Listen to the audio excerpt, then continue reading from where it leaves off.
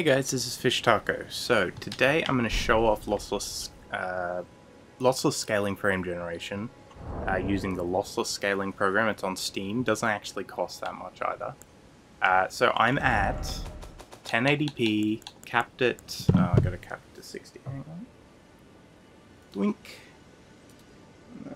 60. There we go. Okay, uh, and I'm at the high preset, but with depth of field and motion blur off. You always want to turn these off for using frame gen. Now, uh, so as you can see, it, it does sit at 60 if I look at something really basic like a wall. But when I turn around and then start moving around with enemies, uh, you can see it drops down to like the 50s and such. Uh, and uh, if I stand here also, you can see it's using like 85 percent, a bit more.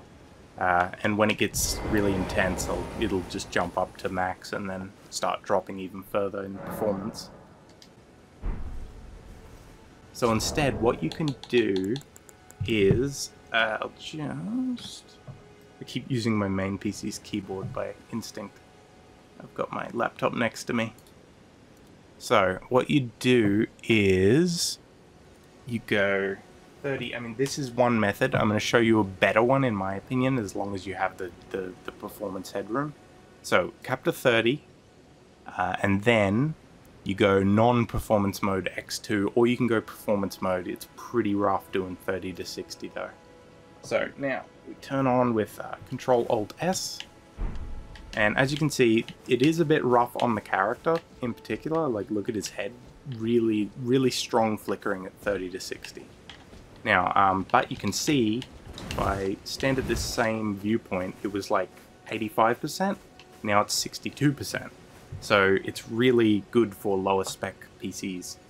Now, what you can instead do, and I think this is a great solution as long as you had some headroom, like if you were sitting at 50 FPS minimum, which is roughly what mine was dropping to in intense situations, what you can do is limit to 40, limit to 40, uh, and then basically with the new update of lossless frame gen, it actually will discard frames uh, more than your refresh rate. So it would be 40 to 80 before, even if your refresh rate was lower.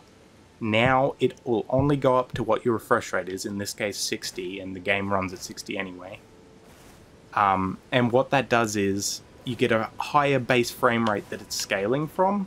So as you can see, like my sword looked terrible in particular before with the flickering. Now it's it's light flickering, but it's only on the character really. And the edges of the screen are distorting less, which was a big issue.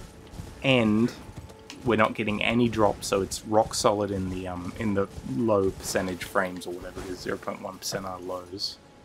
Uh, and if I look here, it's using like eh, getting to the same amount it was at 60. But if this drops, because it could drop all the way to 30 and I'd still be up uh, frame generating up to 60, it might have a bit more artifacting if it did drop FPS. But it's got that headroom, basically. Um, and it, yeah, I, I, just think it's great, and I thought I'd show you two different things. Uh, what you could do at the 40 uh, refresh rate, what you could do when you drop it to 40 or raise the FPS to 40 is you put uh, performance mode. It'll still look better than scaling with non-performance mode. Uh, and it'll use less. So like, look, now I'm looking out there and it's only using 70%. Whereas without this uh, lossless scaling performance mode, it was using 85 when I looked out here, you know?